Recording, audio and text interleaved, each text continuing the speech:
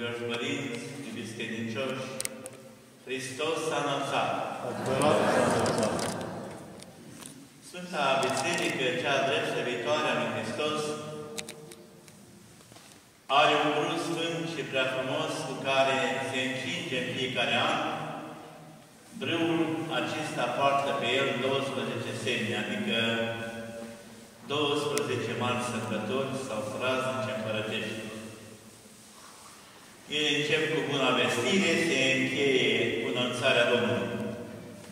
Toate dumnezeiește praznice care împodobesc brâul de aur al Bisericii își au originea lor dogmatică, trainică, în Sfânta Dumnezească Scriptură și sunt intrate în cultul Bisericii Ortodoxe încă din primele veacuri creștine. Dumnezeu un praznic al înălțării Domnului, pe care îl sărbătorim noi creștinii ortodoxi de pretutinde, a fost prorocit cu 800 de ani mai înainte de către prorocul David în Psalm, prin cuvintele Înalță-te peste cerul, Dumnezeule, peste tot pământul, slavă ta. Iar Sfântul Apostol Pavel zice acestui Iisus, care s-a bucurit în cele mai de jos ale pământului, acesta este care s-a suit mai presus de toate cerurile de-a dreapta măririi între cele înalte. Mântuitorul nostru, Iisus Hristos, s-a înălțat în cer, nici peste cer, ci pentru cerul, peste cerul. Nimeni nu știe numărul cerurilor. Unii au spus că sunt șapte, alții au zis că sunt nouă. Dar Sfânta Scriptură nu ne arată numărul lor. Nenumărate sunt cerurile, nemăsurate este Dumnezeu cu vechimea, cu puterea, cu toată înțelepciunea. Așadar, Mântuitorul nostru Hristos s-a înălțat astăzi de-a dreapta Tatălui. Mai presus decât toate cerurile. Însă, pentru ce s-a înălțat Domnul pe pământ la ceruri? Ca să ne trimită nouă pe Preasfântul Duh.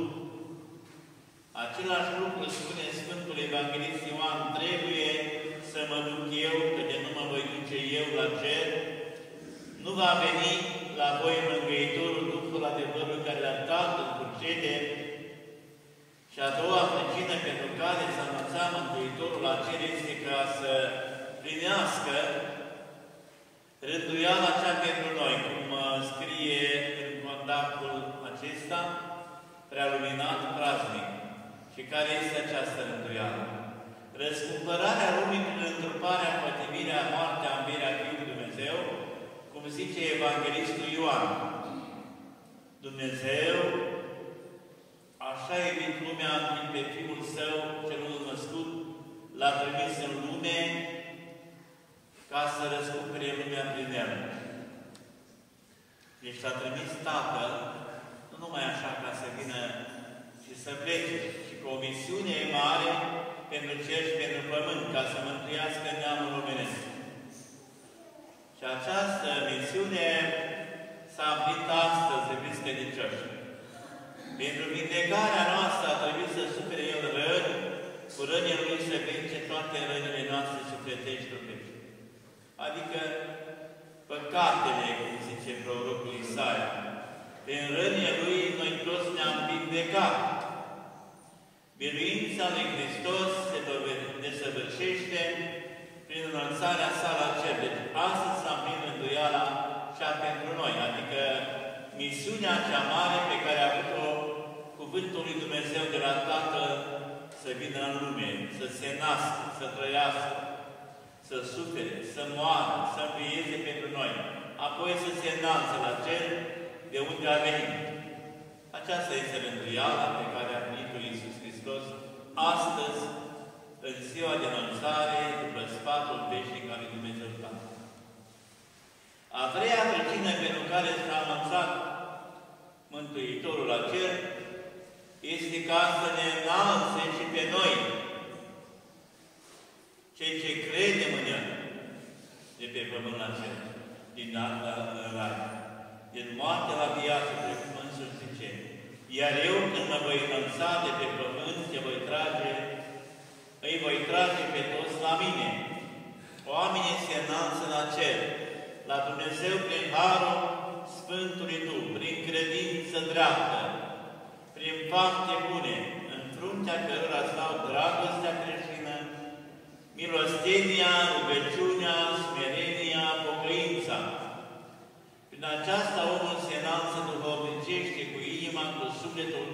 până la tronul Preasfintei Tremia. Prin păcate, necredință, omul se coboară cu inima, cu mintea, cu sufletul mai jos decât toată sângerea, adică în neam, cu diavol. Singura salvare a omului căzut în păcate este scularea lui prin pocăință, adică prin spovedanie, căință, canon, părăsirea păcatului. Pocăința îl face mai alt decât zăpadă. Îl ridică la cer, îl face asemenea cu îngerii și ajunge Fiul al Dumnezeu după har. Cum spune prorocul David, eu am zis Dumnezeu, sunteți toți și fie celui prea înalt. Iisus Hristos s-a anunțat la cer ca să gătească loc de veșnica odihnă celor ce fac voia Lui, după cum un singur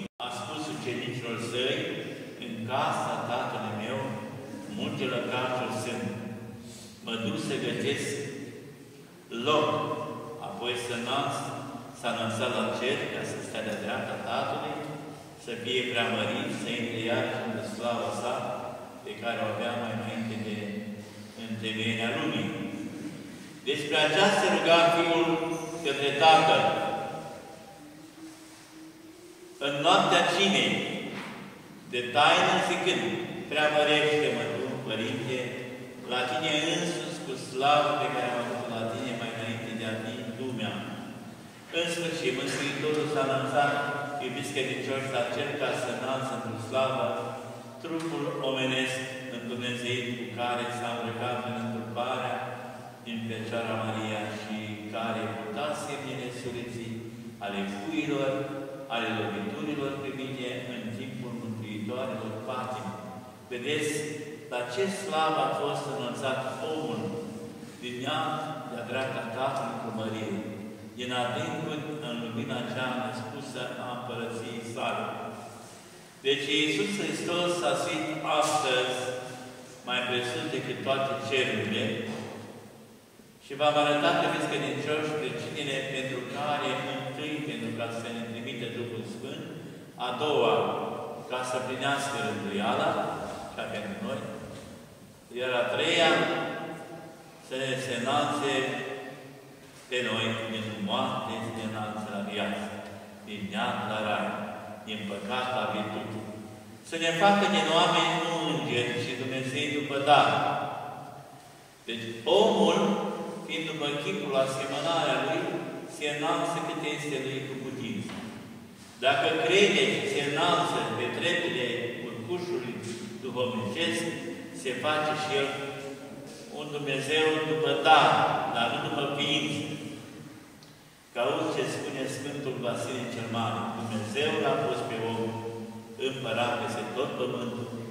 L-a făcut Dumnezeu al celor făcute de Dumnezeu, în vecii vecilor. Amin. Hristos s-a înălțat! Adevărat s-a înălțat!